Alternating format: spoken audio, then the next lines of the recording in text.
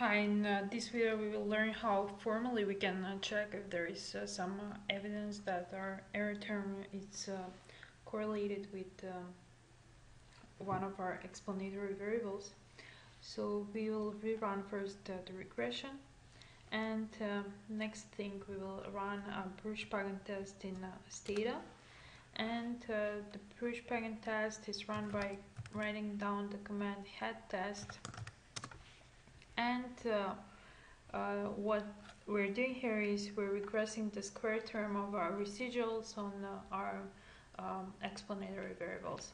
And this time we will regress uh, our squared residual on uh, sales, uh, advertising, then on um, the square term of price, advertising, and the cross term between uh, price and advertising, which was uh, price at rate. Okay.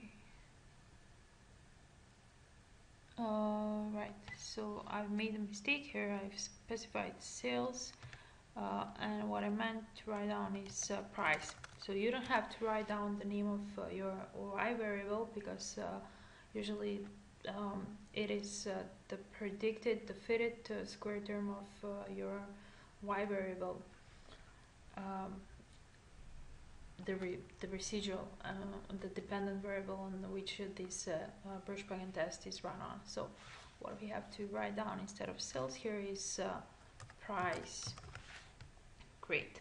So now we can run the Breusch-Pagan test and um, the null hypothesis of this test that is that there is a, a constant variance.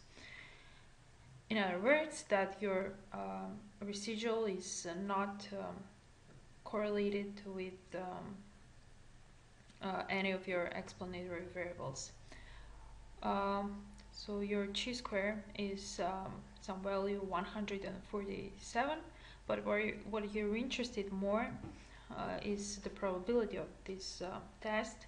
And this is automatically reported in uh, and this is zero. So we, so we can conclude from here that we can reject our null hypothesis and conclude that there is some evidence of uh, heteroscedasticity in uh, our model.